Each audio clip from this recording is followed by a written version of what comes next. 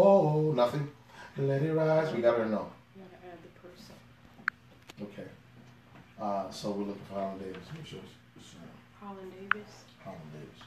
So those songs. So I chose Heart of Worship and um, I chose Heart of Worship and um, what was the other one? we did? Here, Here as in Heaven because uh, Heart of Worship, you know, ten years ago or whatever that was, and Here as in Heaven about you know two years ago. Very relevant, uh, uh, uh, great songs that speaks our heart to the Father, and I believe it also speaks His heart to us. Here, here's what I love about that. Um, I'll bring you more. I'll bring you more than a song for a song in itself. We got it. It's not what you have required. Almost. All right. So the beauty is, I'll bring you more than a song for a song in itself is not what you require. That's why I keep saying that worship is not just the song. Worship music, rather. The- Worship is not just a song. Worship Yeah, I'm music here. is a result of the Live heart that is surrendered and knows how to give up everything um, once again. Right? So, so the, the song, as a songwriter said, you didn't require a song from me, but you're looking much deeper within, right? For the things that really matter. You're looking into my heart. A man or woman who sings from their heart will always sing the truth. Watch this, no matter what year it is and no matter how long ago it's been. A man or woman who sings from their heart will always sing the truth, the truth of the Father. They will always sing that truth no matter what. Nothing? He has to click this. Okay. So we're waiting for David uh, Holland to uh, join us. Also, The Holland, second one. so Holland joined, I don't know how, y'all gotta tell me what's, what's going on. Because he, he's watching. There's a has to go to Oh, so go to the new live video. and then And- we can add them. and then we'll add you, and then I'm gonna cut this one off, and we'll. I don't know how this is gonna work. Actually, We can keep it going. uh, that's what I'm thinking. I said, I said, keep it going. Okay, cool. So, um, so you you gotta sing from your heart. Um, one of the things that I like to teach musicians is that playing from the heart versus playing from the chart, and it doesn't have to be verses. It doesn't have to be verses. It can very well be both. But sometimes we get musicians and singers who play from the charts, sing from the charts. This is what it is. This is how the song goes. I've always taught our musicians, let's let's play the song just as we heard it on the record, right? Record. I'm 45. And then let's go ahead and do what we feel for the record. Let's do, what we feel. So, but we're not going to abuse it so much. All right. So, I got Holland Davis here. So here's what I'm going to do. What's up, Holland Davis? right. What's up? hey, man. So I got a, another. Yeah. Yeah. So, so hey, listen. This is. I've started another. Everybody go over to the other one. All right. It's still me, but I started another one. Everybody go over there. I want to see the numbers go down here and come up over here. All right. So um, I got Holland Davis on, and we're gonna chop it up about uh, um, his song and what he's doing now, and what we as songwriters, especially for worship, uh, how we can be better at what we do and better served. All right. So everybody, I'm just gonna keep on talking over here. So I, I intend to see y'all shut it down on on this one, and then we'll go over to the other one. Hey, Holland, how you doing, brother? Good. How you doing, man? Fantastic, man. It's been years, right? Ten years, maybe. Wow, has it been that long? This is amazing. This is like cutting edge. it is.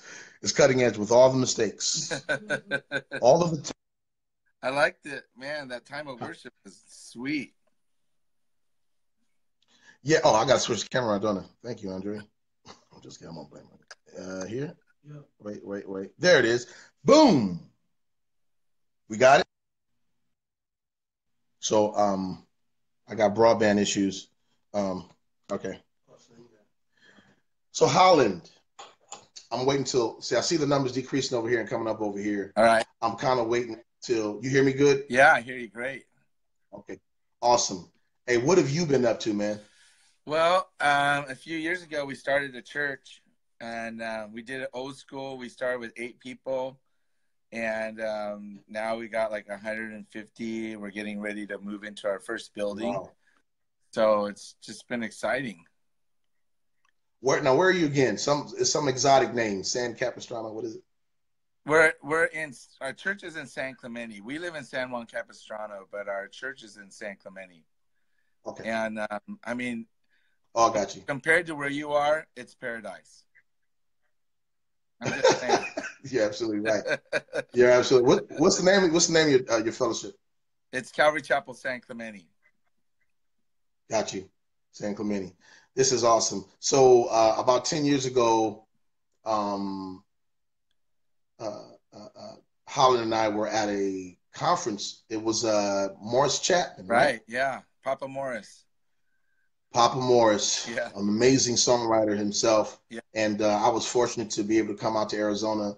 That's where I met uh, Holland and uh, another good friend of mine, Kerry Godwin, for the first time. Kerry and I were both from North Carolina, Oh, wow. and I, I didn't know him at the time, but we developed a great relationship since then. Amazing. I'm going to have Kerry on here at some point. Uh, amazing guitarist. He taught.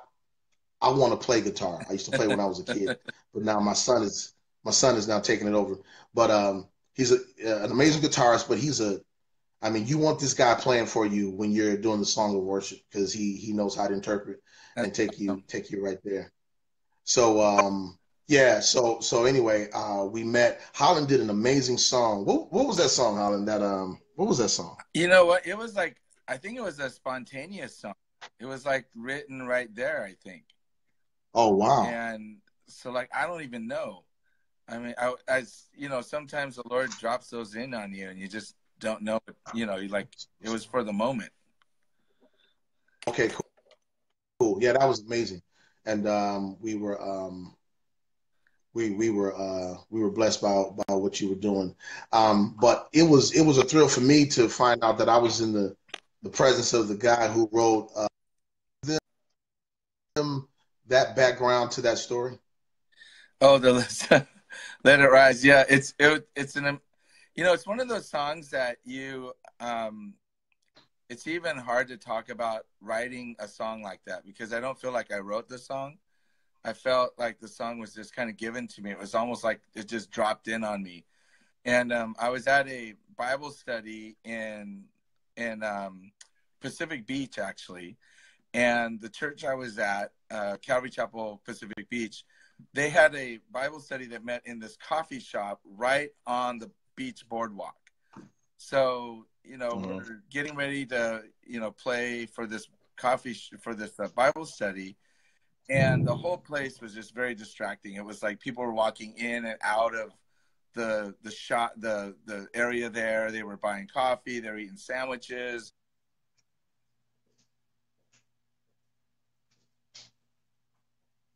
I got you. I think he froze. We'll get it back.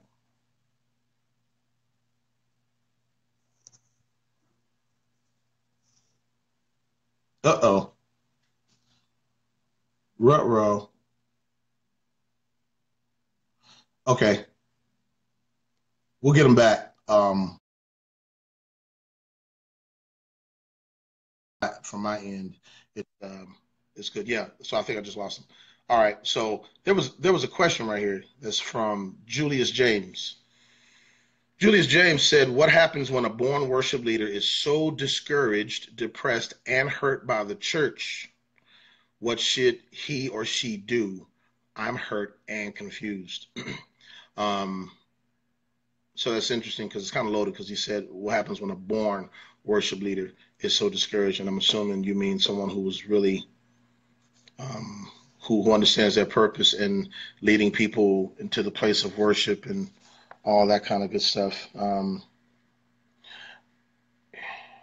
here's what I got to say to every person who believes that they're called to be a minstrel and to be to lead people into the sound of worship.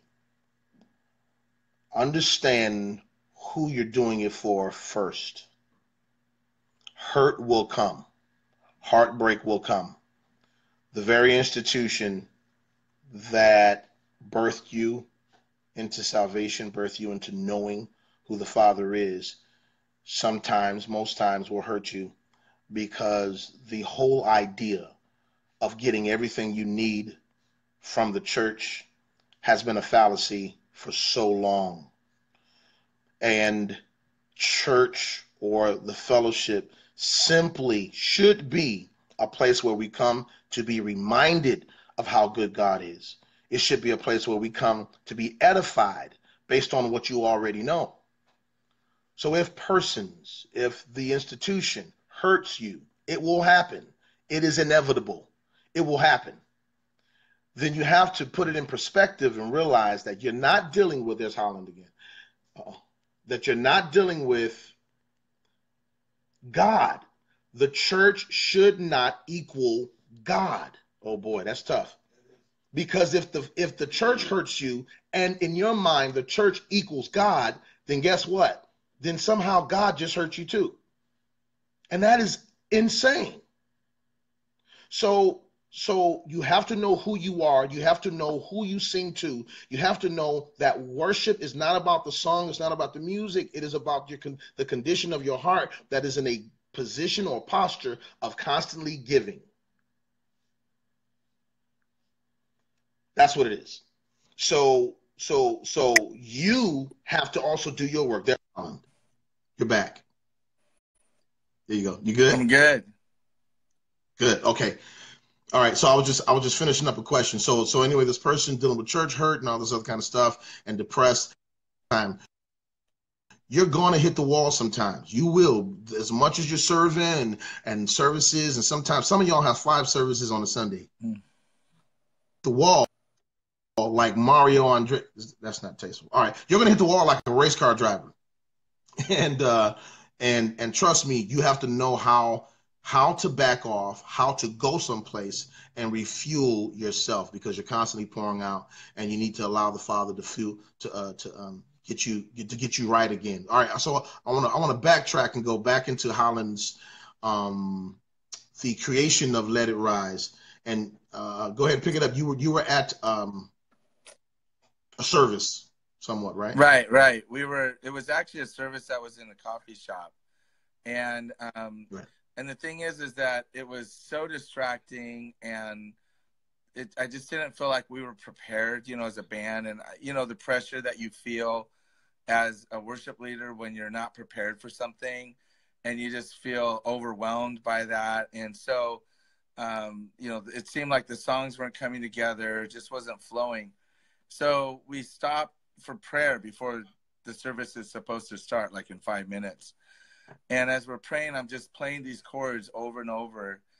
But in my heart, I'm crying out to the Lord. I'm just like, Lord, if you don't change the atmosphere here, if you don't, if your glory doesn't fill this place, if you don't change this room from this, you know, coffee shop into a house of worship, it's just going to be a disaster. And, it's, and, and I just started just saying, you know, let the glory of the Lord just rise in this place. You know, let the praises of the Lord just rise. Let, let the songs of the Lord just rise in this place. And so we went and um, right before we uh, we started, I turned to the band and I just said, play these three chords. And um, they started playing these three chords with me. And I turned around and I just started singing, let the glory of the Lord rise among us and it was and it was really just a cry to the lord and as soon as we started singing it it was as if the room paused like the time stopped in this room. People stopped eating they stopped uh, talking they they just put down their food and they lifted their hands and they began to worship the lord and sing this song as if they were completely like like they had known this song their whole life. And um and it was just one of those unforgettable moments you know where god just and basically we sang it the way it's saying today. It was just it came out the way Wow. it's it um that we do it today. And the way it ended up on a record is we uh, i was invited by malcolm duplessis to come to a to maranatha music and they were they wanted us as worship leaders to come and give our feedback on songs that they were thinking on putting on albums and when we got there, they said, well, you can listen to our songs or we can listen to your songs. And so we would rather listen to your songs. And they flipped the tables on us and, you know, went around the room and finally, you know, came to me. And so I had all these songs that churches in our area were already doing. and I began to just play these songs, and you know they would just say, "No, that's not a you know that's not it. Pass, pass, pass." You know, and, and that happened like two or three times, and after a while, I'm thinking. Maybe that's why you guys don't have any good records because you don't know any good songs when you hear them. You know, I just was getting really frustrated and they and they I went through all the songs I had, and they finally says, "Do you have anything else?" And I said, "Well, I've got this one song. It's not even a song; it's an idea. It's just kind of this spontaneous moment that happened." And I sang "Let It Rise," and the whole room just went, "That's the song!" And and wow. and they said, "We got to have it. Paul Baloche is in the studio. We need we need it tomorrow. Can you get it to us tomorrow? We're going to record it, put it on. It was on Praise Band Seven, Then it was on Promise Keepers. Then it, it then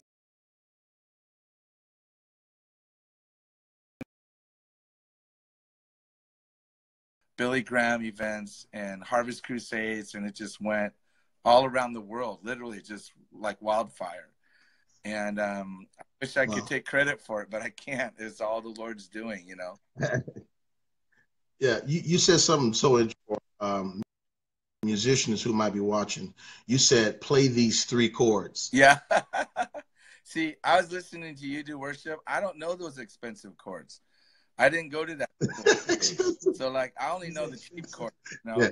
And uh and so the way I get expensive, but I didn't buy them. I stole them. I break a string, I keep going, and that's how it sounds expensive. Yeah. yeah, I hear you. I hear you. I, like I say, I I um I love the simplicity of it, and I always tell people that's why "How Great Is Our God" is so effective because it is so simple, and um the verses are the same. The chords in the verses the same as the um, the chorus, and and the verses are the same. Right. And uh, I had a, a real good musician friend of mine in Florida who's a phenomenon. Like both of his hands um, should be cast in some type of uh, special gold gold plate. But he's good. He's amazing. So anyway, we were singing the song and he asked me, he said, so if I did this chord and he flipped it, some jazz, some whatever he did, he says, would that bother you? I said, absolutely it would because for me, the purity of those songs is what attracted me in the first place. Yeah. So I want to I want to keep it as as close as possible. I want to keep it there. Now, that's nothing to be said about interpretation because right. everyone has a different interpretation. As a matter right. of fact, share you you said back then that of all of the renditions that you heard, that there was one particular rendition or, or cover of the song that that kind of got it right. What was oh, Do you remember? Yeah, that? it was uh, Bishop William Murphy, and um, yeah. he, he, when he did his version of it, um, it captured the heart that I was feeling when I wrote the song. Yeah. It, it, sounded like a cry out to God. Um, now, yeah. like the Big Daddy Weave version went to number three in the nation, and I got an award for it uh, because of their version of it, and um, and it and it definitely captures the energy of the song and just the excitement of the glory of God being in a place. Uh, but William Murphy yeah. captured the heartbeat, you know. And what's interesting is that I, I, see a lot of people doing his version of the song.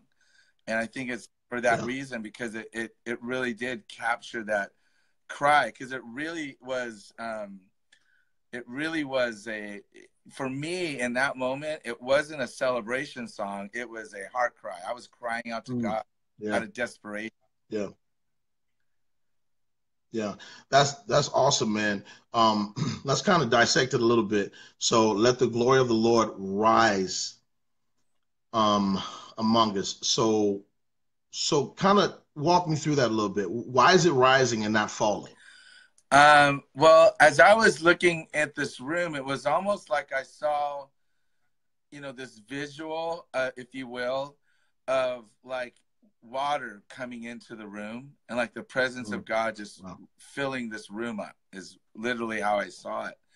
And so as I saw the the presence of God, the glory of God to me was all synonymous. And it was like I just wanted all the people in this room just to be underwater, you know under God's glory, just like completely over the top, yeah. you know. And uh, and so that's kind of what I saw. I saw like I saw this, you know, the same thing, and then worship just rising out of their hearts up to the Lord, you know. and um, so it was it was it was really kind of this sense of I I really you know out of desperation saw this room as it was a restaurant. I mean, people were in swimsuits, and you know it's in Pacific Beach. It's on the boardwalk, right? Right. You know, ten feet out there is the beach, and it was just so. Um, it was not a conducive environment for worship. Right. Well, you know, and it's like I it, I, I just saw the Lord just completely transforming um, the atmosphere of the place. And what's interesting is um, I remember the first time I heard it sang at LA Coliseum. It was at a Promise Keepers event, and there were eighty thousand guys. And Whoa. as soon as the Promise Band just started singing the song "Let the Glory of the Lord Rise," it changed the atmosphere of that whole place. It's like all of a sudden there was just the sense of the presence of God, and um, it was the same sense we had in that little restaurant, you know. And um, and so I that's Wow. kind of what was going on in my mind as I was Yeah. thinking those lyrics. How does it make you feel? I mean, let's let's let's um just just personally, just as a man, how does it make you feel knowing that the Father used you to pen that and you've heard that all over the I, world? I have to tell you, it is. Um, I mean, it. When I sat and heard those guys singing at the LA Coliseum, I just started weeping um, because when I was, I want to say when I was like thirteen or fourteen, um, I I would have these dreams of of like masses of people in a in a in a stadium worshiping the Lord together. And uh, in, Mhm. in those days, that didn't happen. You know, that just wasn't a reality. Right. And so I, it was like a big dream of mine to see people from different races, from different denominations, from different groups, all unified uh, to worship the Lord in this massive stadium. And I was there. You know, I, I saw myself there.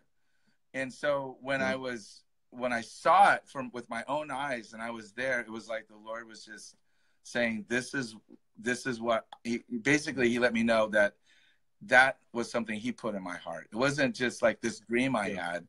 It was really something God had put in my heart that He was bringing into fruition. And so for me, it was humbling. It was it was a, a moment of just like, you know, just just um, you know, finally seeing God get the glory that he deserves and seeing all these people come together to set aside their differences to be unified under the banner of Jesus Christ just to worship the Lord that was probably the highlight of my life up until that point That's awesome, man. Um, man, what what a what an amazing. I love the background to um, to to that. That's something that we've all sang. Um, there are probably a lot of songwriters who are watching now um, who want to know what does it take to hear that song from the Lord. You know what I mean?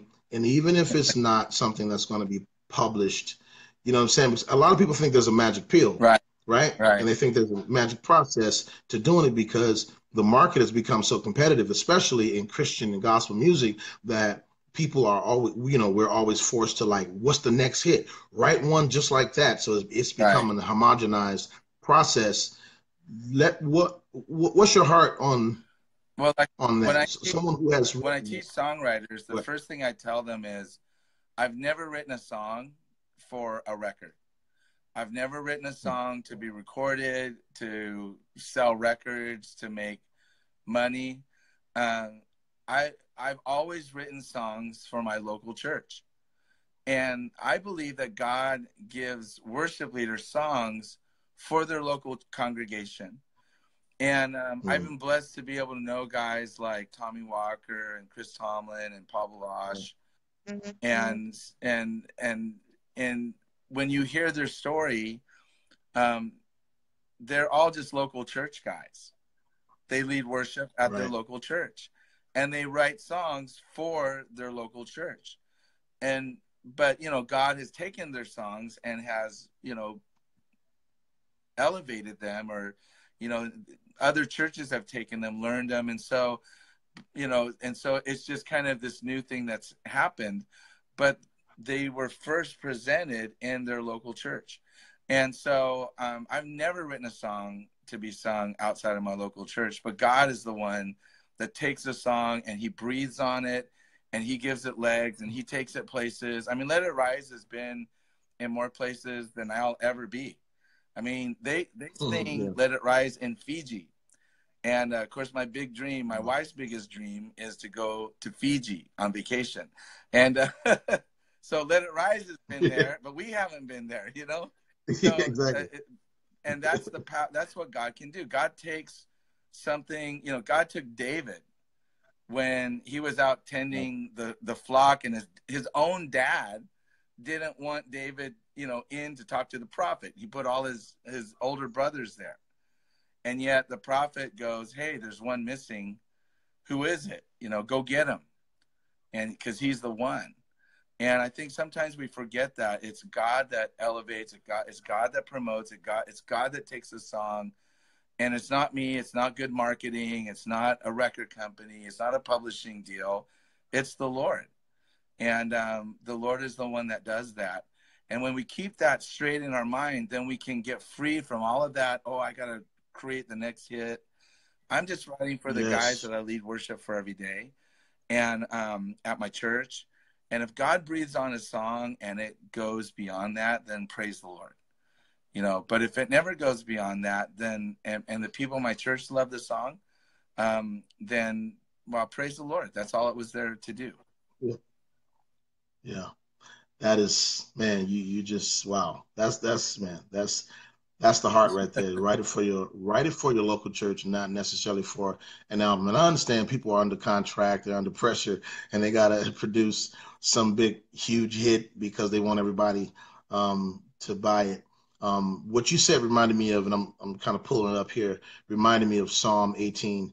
It says, To the chief musician, a psalm of David, the servant of the Lord. Who spake unto the Lord the words of this song in the day of the Lord, delivered him from the hand of all of his enemies. Yeah. And David wrote those songs and then sent those songs to chief musicians in other Mm-hmm. places. And obviously there was no uh net. And so he would tell them, sing it to this tune, sing these lyrics, Right. sing these words to the tune of this song, to the tune of that song. And that's how David um would get it, would would distribute. Now, I correct? what's pretty much interesting- songs. What's interesting is that you know people. Uh, I had the privilege of um, serving with Pastor. T- I think I'm losing you. Are, are you got your uh, mic covered? no, can you hear me? Okay. Okay. I hear you. I, I hear a little bit. Okay. Well, uh, I want to make sure we hear. you hear me good? Yeah. All right. Well, I, one of the Okay, gotcha. I had the privilege of serving with Pastor Chuck Smith, and um, Pastor Chuck Smith is uh, legendary. Um, he's in history books. Uh, basically, he's you know credited with founding the whole praise and worship movement, um, and the whole Yeah. Jesus you know mu- movement. You know this the contemporary Christian music industry, and um, and one of the things that I learned from Pastor Chuck is that um, you know, when different people would come to him, you know, with with the songs that Maranatha Music was putting out, um, they would ask him, "Hey, Chuck, we want to we want to take your songs, you know, Calvary Chapel songs, and we want to translate them into Spanish. We want to translate them into Chinese. We want to we want to do them in Australia. You know, can we do them? And how much will you charge us?" And and Chuck would say, "It's free. Just use the songs. Just you know, be blessed." Wow. And he Yeah. did not put the industry onto the songs. What happened is those Hmm. songs went around the world. And and soon every nation was singing the songs that came from Calvary Chapel Costa Mesa. And of course, when Wow. CCLI came along, guess what happened? A lot of revenue that came to Calvary Chapel Costa Mesa um, because those songs were around the world. He was generous with what God had given him. I think because of the industry, songwriters have forgotten how to be generous. Um, we've forgotten how to take our songs and let them be the songs of the people. and um, and when the Mhm. song and when the people own the songs, they're gonna sing them everywhere. They're gonna pass them on it, because it becomes their song. They're gonna sing it around the world, and then of course Hmm. the writers benefit through organizations like CCLI or other. Now I have other artists recording my songs, and it's kind of exciting. So and get my they've heard songs, and so it's, it's kind of an exciting thing, you know. And so God Yeah. is still. That's how I'm able to do our church. How we're able to do the ministries that we're able to do is because of how God has blessed the songs. But we've been generous with them. Man, wow. So you've been generous with the songs. And when they are the song of the Lord, it you're not concerned about where it goes. What what you do know is that the Father does the rest. I always say that ours is not to know how it's going to happen.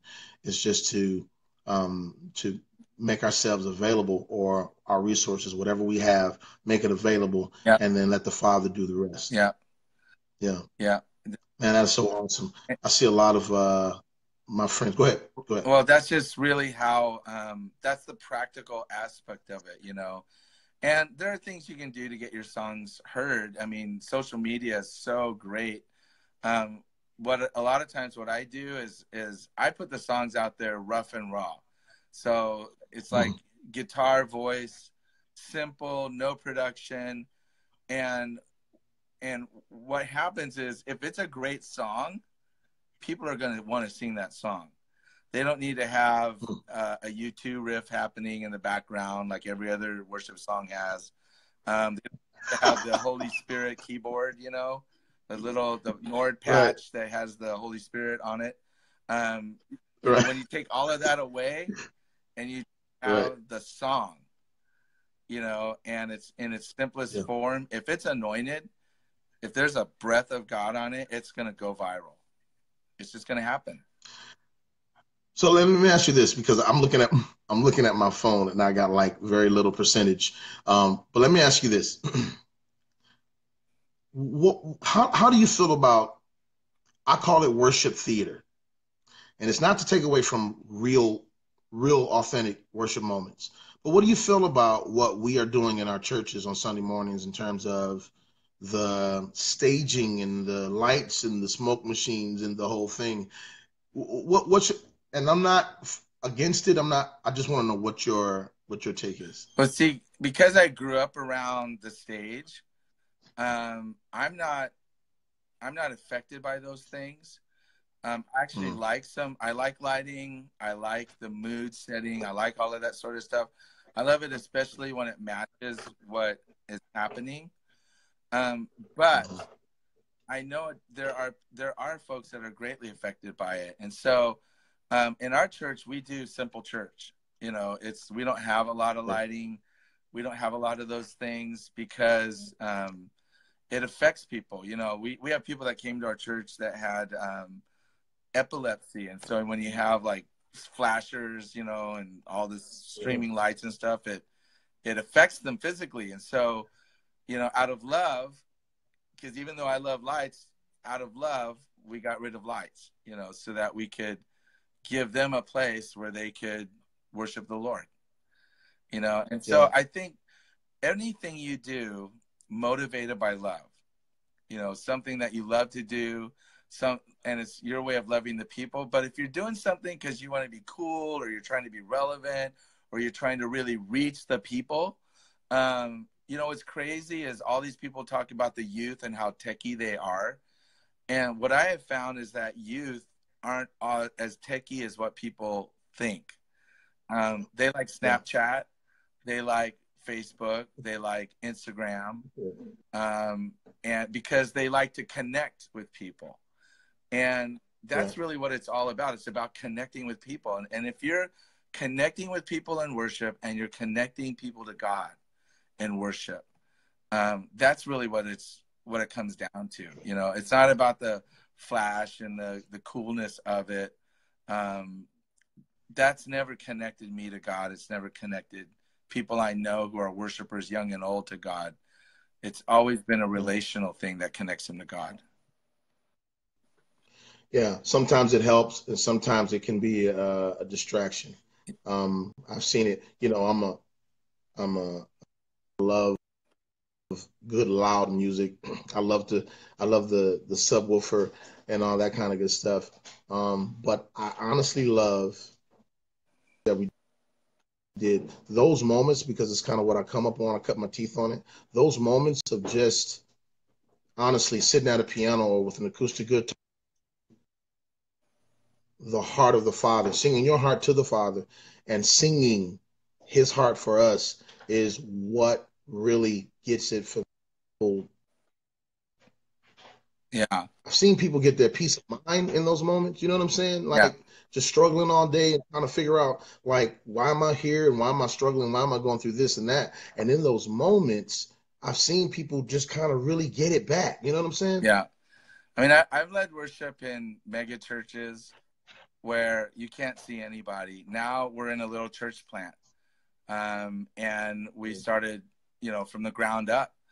And so it's, it's, um, it's, it's different when you're looking in the eyes of people and you see them worshiping the Lord and you're looking at a guy and you're going, man, that guy was delivered from drugs. Look at him. He's worshiping the Lord. And then you look at Right. another person and it's like wow that that person's marriage was on the rocks and now god has healed their marriage and look at them worshiping the lord and you know that person just lost you know a loved one and and yet they're worshiping the lord. There's when you can actually see god you know the fruit there's just something different about leading worship in that environment. Um, it it makes your worship leading much more personal much more relational, much more focused on the spirit of God. You know, when you're in a big crowd, it's it's harder for to discern what the Holy Spirit is actually doing in a room because you can manipulate people just with the sound and the lights and everything else.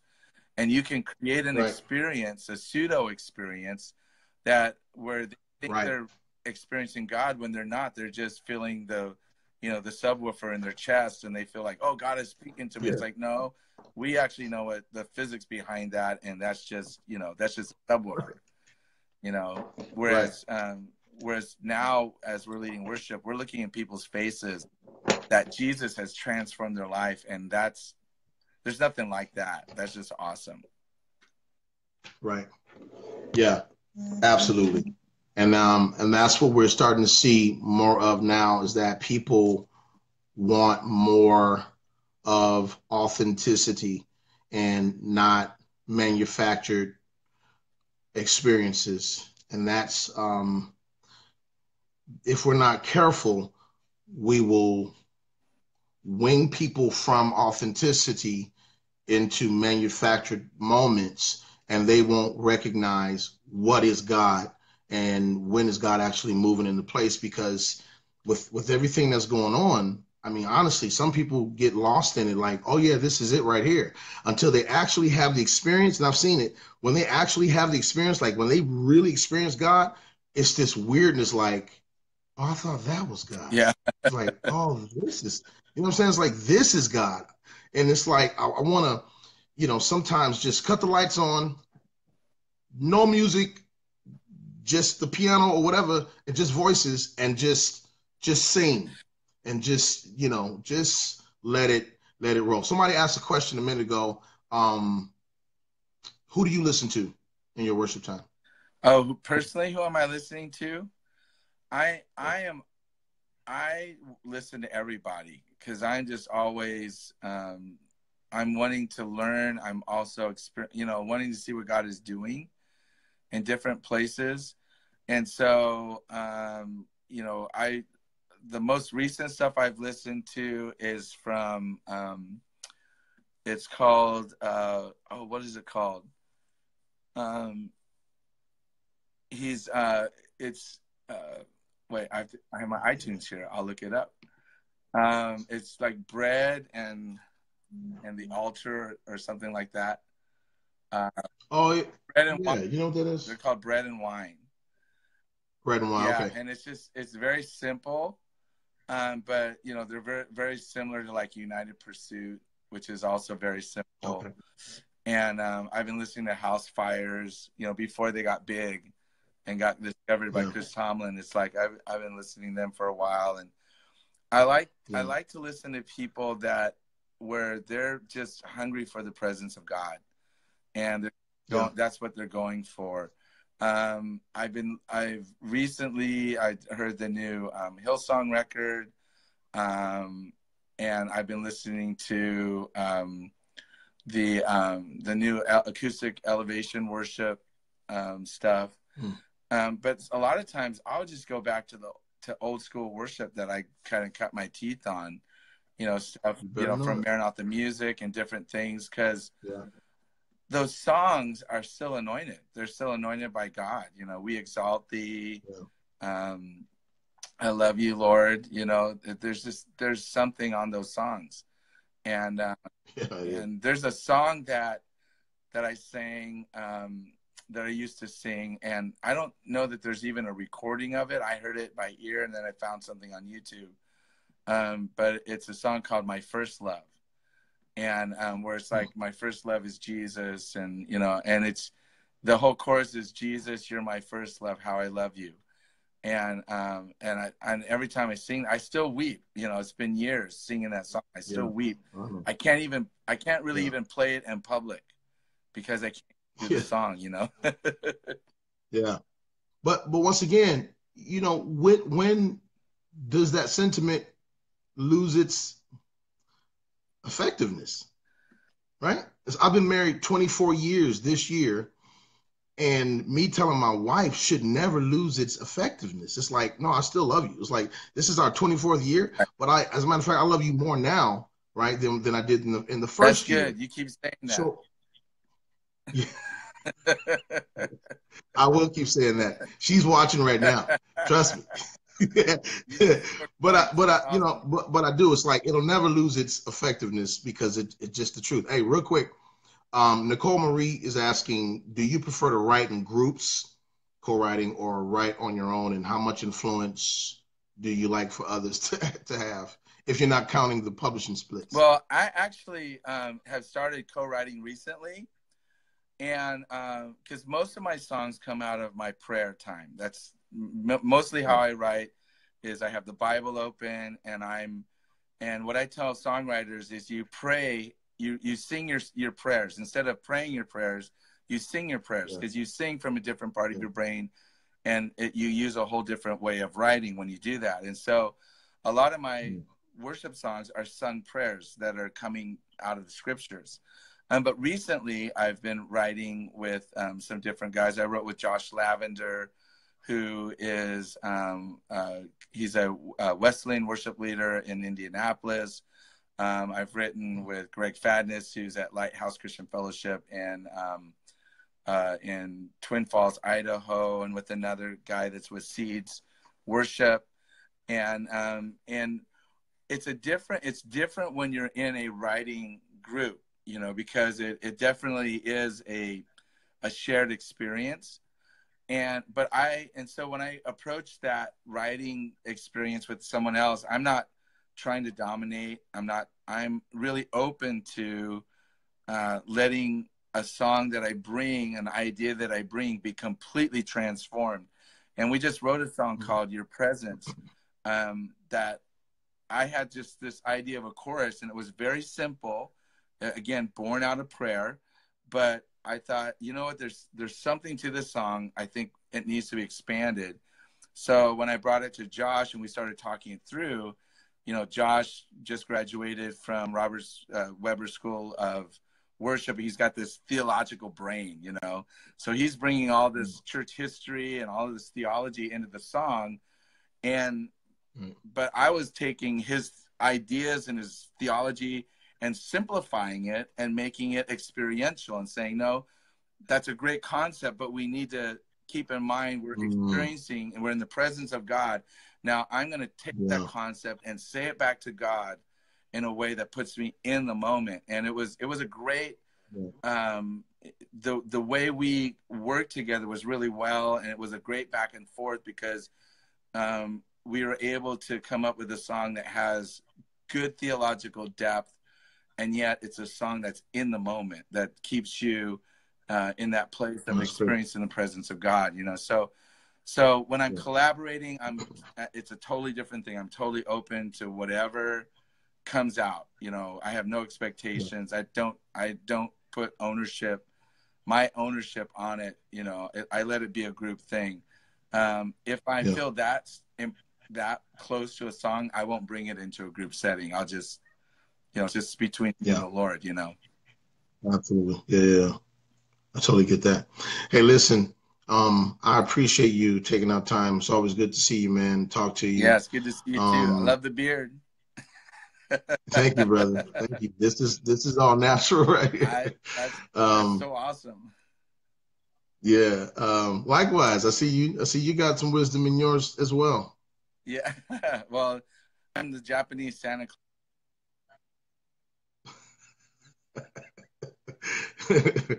hey, man. Thank you. I hope everybody enjoyed this. Um, you were able to get your questions answered and whatever. You know, we were able to um, help out on something. Um, um, what am I getting right now? Oh, I don't know what that question means on Fab. I don't know what that means. Um, so they, I get, yeah, they want. I guess they want to connect with you on Facebook. So how?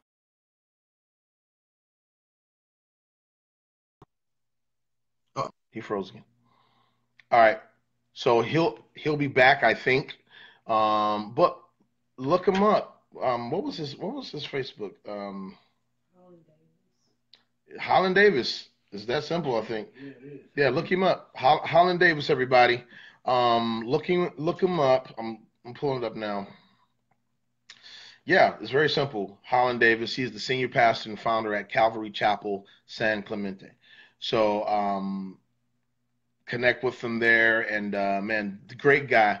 I love when the Father connects me to um, uber talented people, but are mm, crazy humble and just good people. Right? We need to be good people first, and then um, and then the Father can use our gifts. So anyway, thank you all for hanging in there. Um, there's two videos now, obviously the first one with the worship and this one here. So I appreciate you. Hey, listen, share this, like it, do all that other kind of good stuff. And um, I'll be back later on this week. I want to be talking to musicians, uh, what I see and what I feel. And I know I'm not crazy, but I want to be talk- talking about musicians, about what I see and, and what I feel. Um, what's going on with you all. I want to hear from you, as a matter of fact. Where, where, where's your heart in this? Like when you play on Sunday mornings, when you play throughout the week, like honestly, where's your heart, man? Are you are you hitting the wall and you're not telling anybody? Um, what's going on inside of you? Like where's your relationship with the Father? Your relationship has to happen outside of that church. It's got to. If your if your relationship with the Father is activated just when you step inside the church, then you need to recalibrate. You got to recalibrate. Your relationship has to be at home, on the job, in the car. It has to be, man, that thing. Man, man, man must be left alone to discover himself.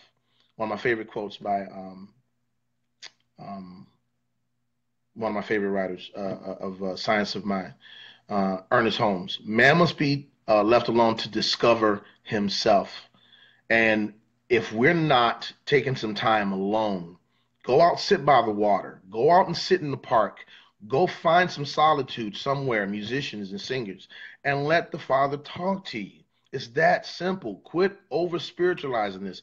Quit making it churchy. Man, the he's a God that is beyond church. He transcends church. So go somewhere, sit down, be quiet, let him talk to you. Let him revive you, rejuvenate you, and let him get you right mm-hmm. again, and then come back to what you do so that you can do it. So, anyway, this week, I'll let you know when and who I'll be talking with at the same time. Love y'all. I know it's been long, but uh, um, I'll talk to you next time. All right? Thank you very much.